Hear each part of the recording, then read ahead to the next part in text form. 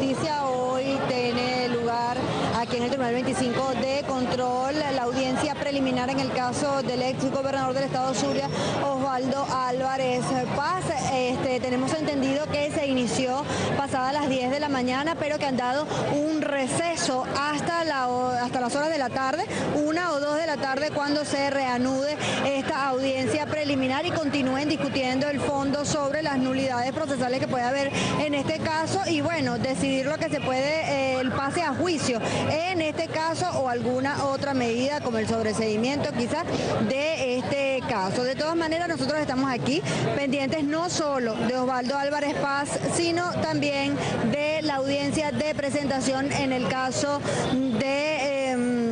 las casas de bolsa, específicamente de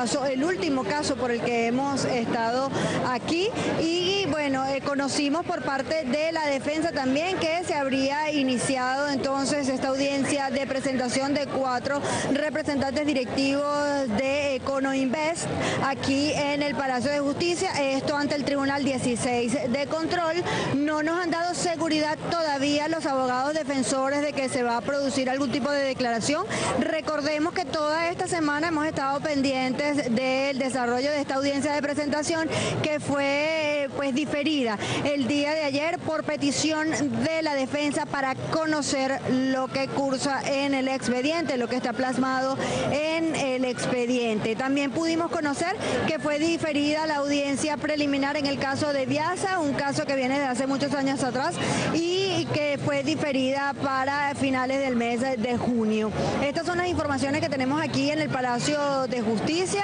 Vamos a estar esperando, será en horas de la tarde cuando se produzcan las noticias aquí y por supuesto que Globovisión eh, estaremos.